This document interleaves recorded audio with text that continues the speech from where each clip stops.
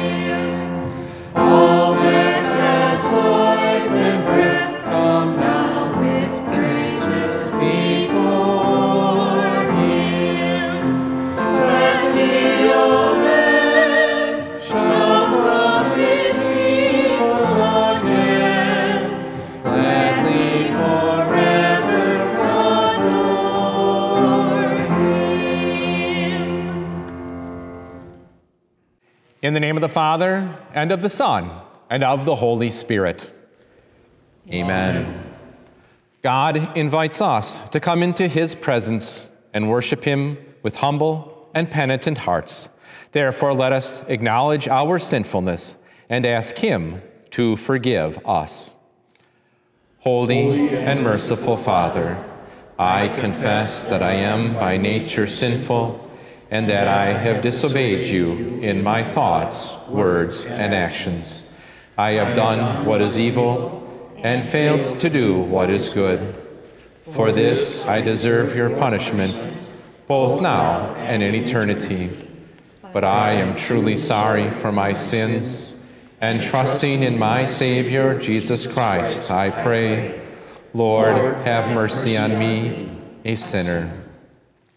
God, our Heavenly Father has been merciful to us and has given His only Son to be the atoning sacrifice for all of our sins. Therefore, as a called servant of Christ and by His authority, I forgive you all your sins. In the name of the Father, and of the Son, and of the Holy Spirit. Amen. Amen. We praise you, O God, for the great acts of love by which you redeemed us through your Son, Jesus Christ. As he was acclaimed by those who scattered their garments and branches of palm in his path, so may we always hail him as our King and follow him with perfect confidence. We ask this in Jesus' name. Amen. The first of our lessons is the Old Testament lesson taken from Zechariah chapter 9, verses 9 through 10. Here, the events of Palm Sunday are prophesied that Jesus, the King, would ride in on the colt, the foal of a donkey. And it also talks about peace, that the overriding message of Jesus is that of peace, peace that people can now have with God because of Him. Rejoice greatly, daughter of Zion. Shout, daughter of Jerusalem. Look, your king is coming to you. He is righteous and brings salvation. He is humble and is riding on a donkey, on a colt, the foal of a donkey. I will cut off the chariot from Ephraim and the horse from Jerusalem. The battle bow will be taken away, and he will proclaim peace to the nations. His kingdom will extend from sea to sea, from the river to the ends of the earth. This is the word of God. The second lesson is the gospel lesson, and that is taken from Matthew chapter 21, verses 1 through 11, and will serve as the text for today's sermon. As they approached Jerusalem and came to Bethphage on the Mount of Olives, Jesus sent two disciples, telling them, Go to the village ahead of you. Immediately you will find a donkey tied there along with her colt. Untie them and bring them to me. If anyone says anything to you, you are to say, The Lord needs them, and he will send them at once. This took place to fulfill what was spoken through the prophet that tell the daughter of Zion, Look, your king comes to you, humble and riding on a donkey, on a colt, the foal of a donkey. The disciples went and did just as Jesus commanded them. They brought the donkey and the colt, laid their outer clothing on them, and he sat on it. A very large crowd spread their outer clothing on the road. Others were cutting branches from the trees and spreading them out on the road. The crowds who went in front of him and those who followed kept shouting, Hosanna to the Son of David! Blessed is he who comes in the name of the Lord! Hosanna in the highest! When he entered Jerusalem, the whole city was stirred up, asking, Who is this? And the crowds were saying, This is Jesus the prophet from Nazareth in Galilee. This is the gospel of the Lord. We sing our next hymn. It's hymn number 133, Ride On, Ride On in Majesty. That's hymn 133.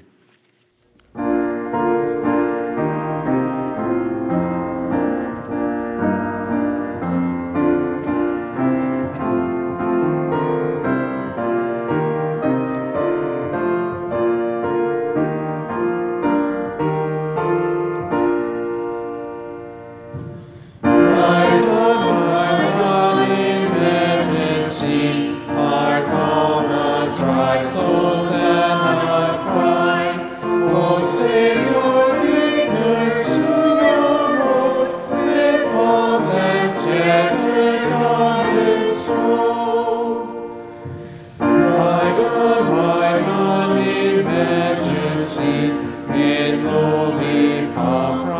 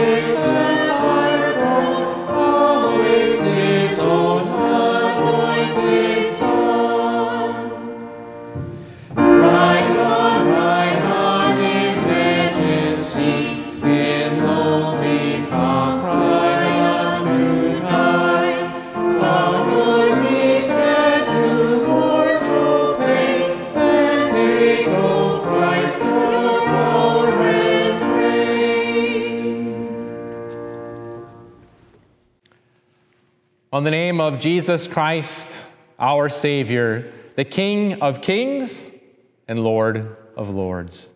The portion of his word that we focus on is taken from that gospel lesson from Matthew chapter 21, the first 11 verses. It's just not right. I was listening to a radio broadcast out of Milwaukee, one of their AM stations, and one of the gentlemen on that radio show used that phrase over and over again.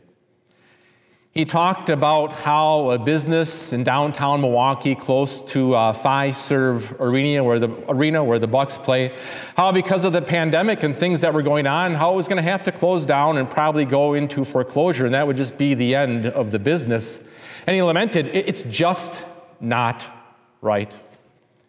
He talked about Summerfest and how Summerfest has been postponed for now into various weekends in September. We'll see what happens with that and those plans. And lamented over and over again about other things that have been postponed and things that have been canceled, things that are going on in Milwaukee and our state and our country and the world.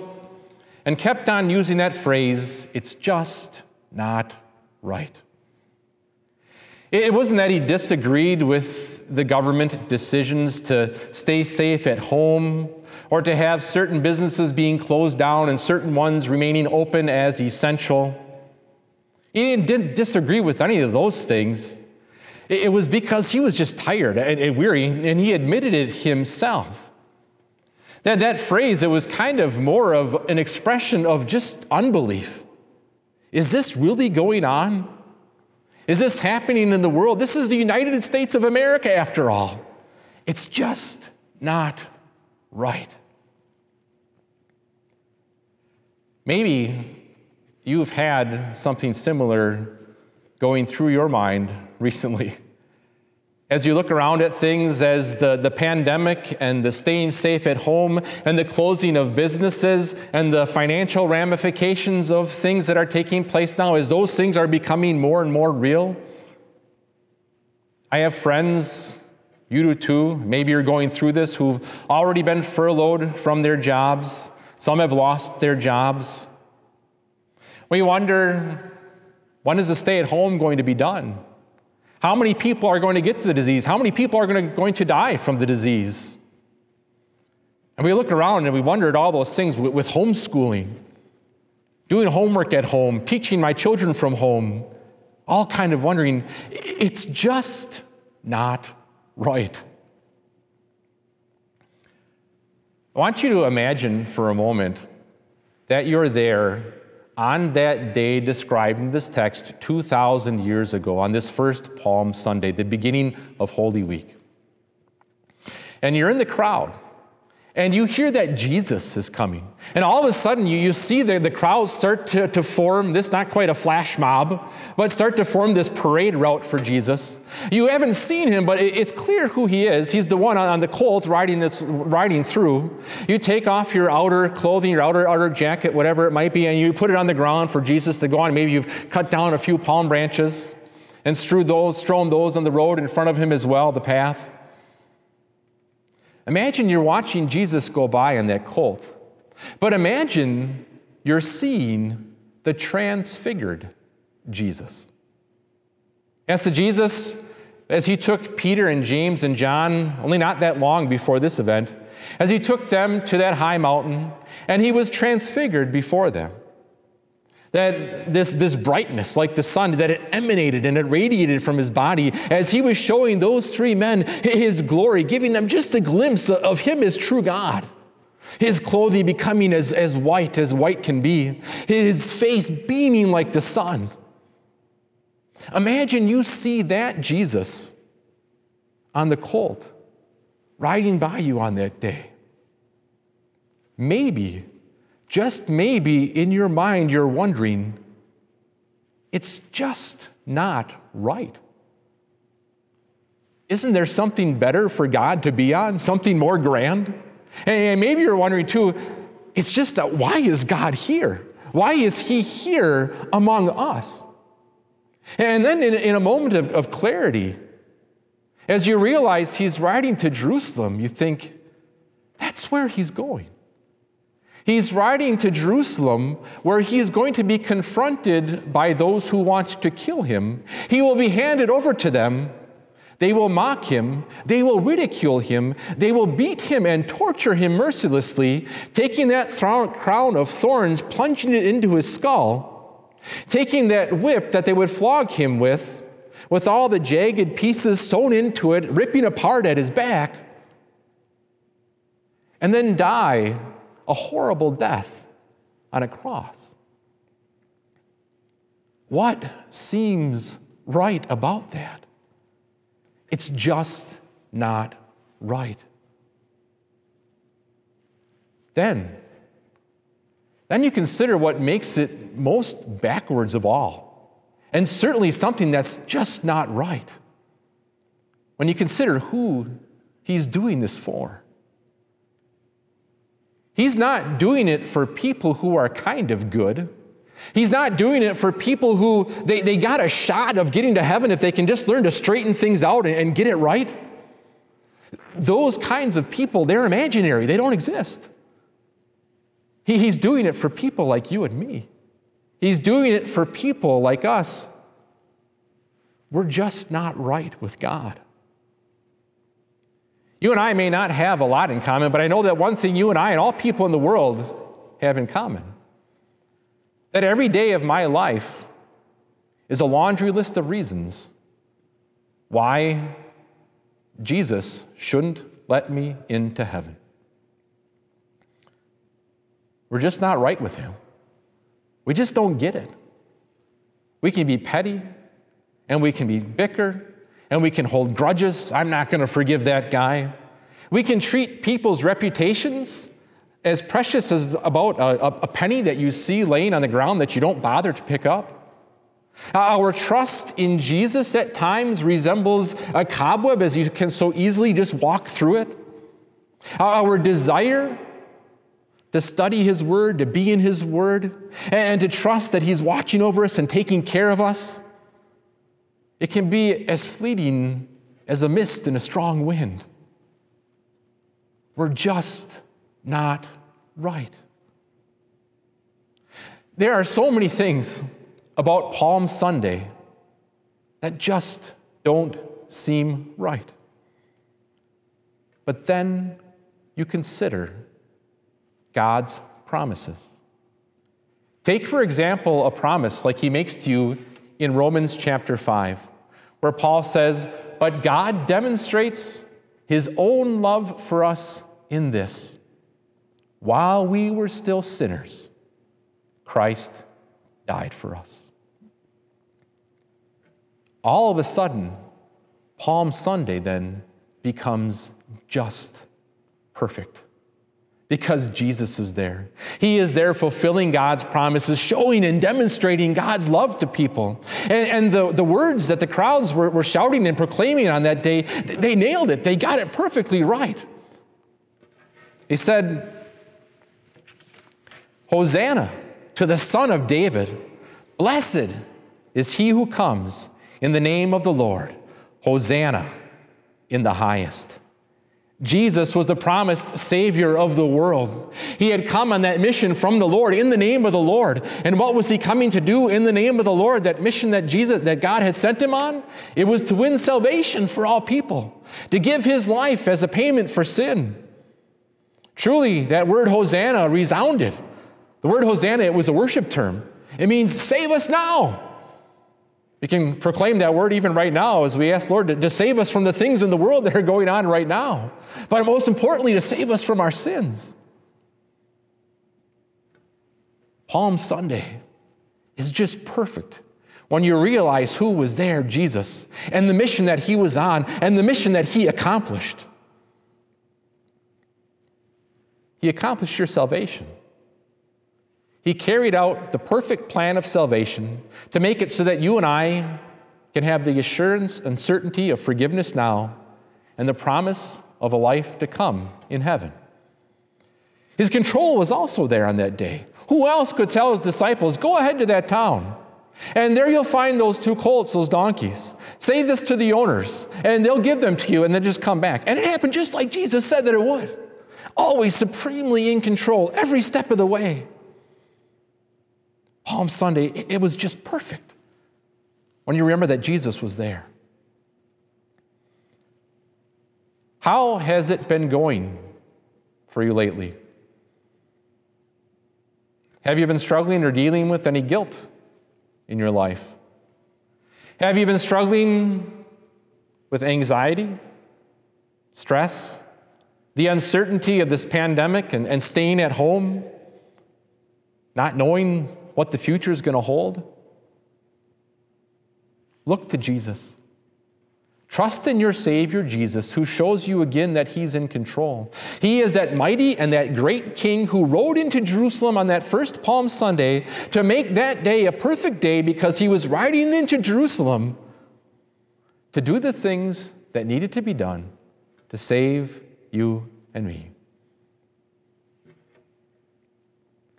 As you look to Jesus and as you trust in Jesus, may He give you certainty certainty that you're saved, and certainty that there's nothing in life that will ever be able to take that away from you or, or to separate you from Him. I want to close by reading to you a section from Paul's letter to the Romans.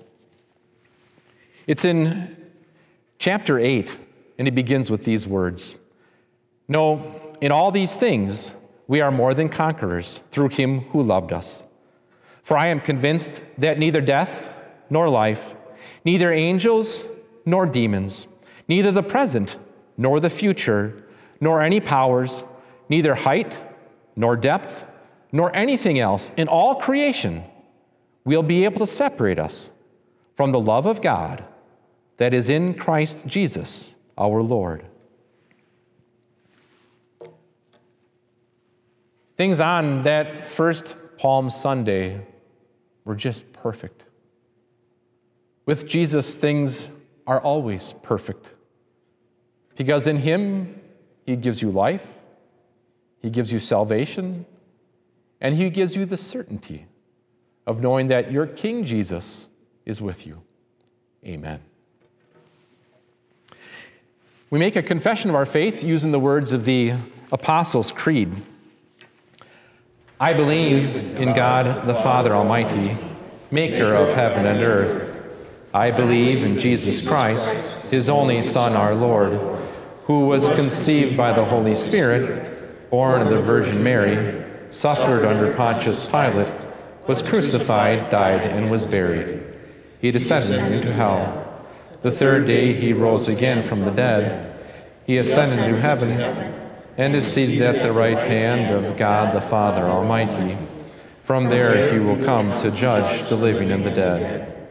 I believe in the Holy Spirit, the holy Christian church, the communion of saints, the forgiveness of sins, the resurrection of the body, and the life everlasting. Amen.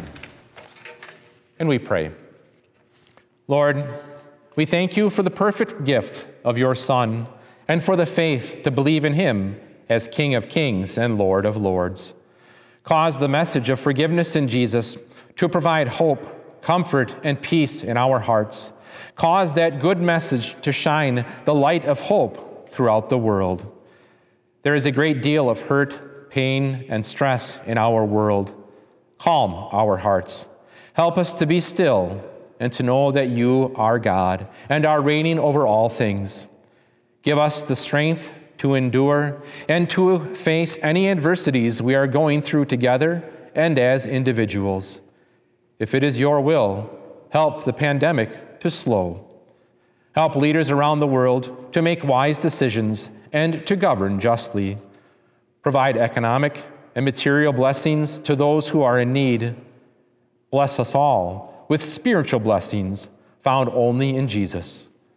We pray this in his name and also join in the Lord's Prayer. Our Father in heaven, hallowed be your name. Your kingdom come, your will be done on earth as in heaven. Give us today our daily bread. Forgive us our sins as we forgive those who sin against us. Lead us not into temptation, but deliver us from evil. For the kingdom, the power, and the glory are yours, now and forever. Amen. The grace of our Lord Jesus Christ, the love of God, and the fellowship of the Holy Spirit be with you. Amen. We sing our final hymn, hymn 333, Abide, O dearest Jesus. That's hymn 333.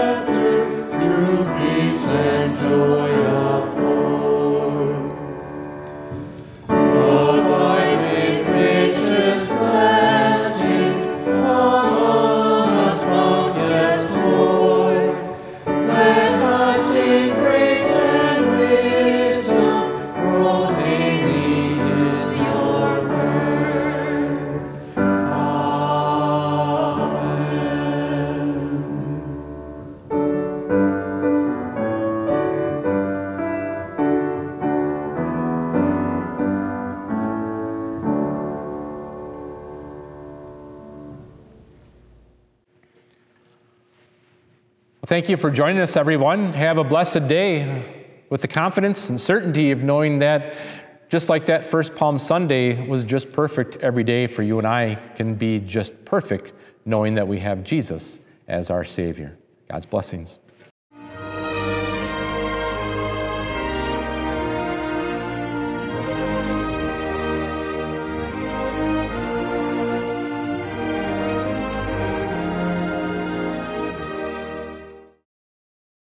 Hi, I'm President Mark Schroeder.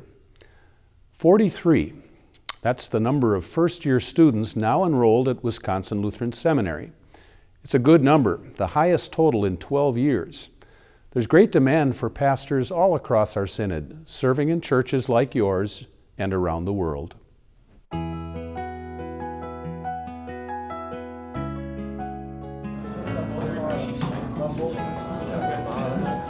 Ethan Schultz is in his first year at Wisconsin Lutheran Seminary, but he's already a seasoned mission worker, having spent a year in Southeast Asia. Going to Southeast Asia was a very exciting time because you're, you're preaching the gospel firsthand. You're telling people that have never heard about Jesus. And those are always things that you hear about in the classroom, but to finally go and do that was, was an amazing gift. So it's very, very important that you check. The seminary has placed a special emphasis on preparing pastors to serve in a wide range of communities and cultural settings. The seminary's Pastoral Studies Institute, for example, trains pastors who come from non-traditional backgrounds. Through our Pastoral Studies Institute, have opportunity to work with uh, sister church bodies really throughout the world in providing training. Um, and we have so many people that are reaching out to us for training. First, could I ask all of you? Four years of training beyond college takes a significant investment, both for the students and for us as a synod. Increasingly, WELS members and congregations are offering special gifts to help these young men reduce or eliminate their debt so they can focus fully on service to Christ's kingdom. What's the promise in, in 315? The talent that's here, the enthusiasm, the excitement for sharing the gospel. Uh, I, I am so excited for the future as I watch these men train.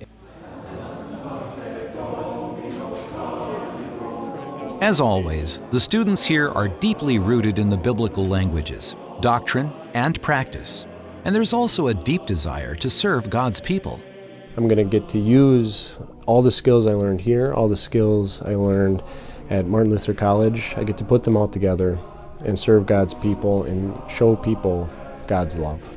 You've got to go and meet people and, and learn about them and then you can you can personally tailor and deliver a gospel message to them and it's always going to be jesus as their savior but that's the beautiful thing about the gospel is that that sentence that truth is applicable in every situation in people's lives wisconsin lutheran seminary has a deep tie to the past and a strong vision of the future a vision for service to the lord and his people at congregations like yours and around the world.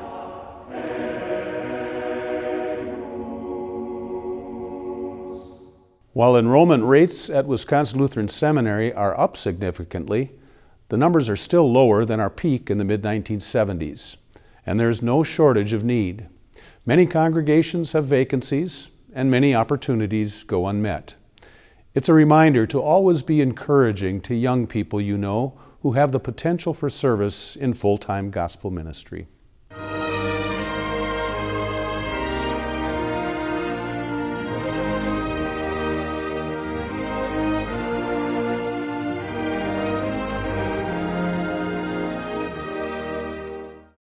Please stand by for an important message from Pastor Cranky.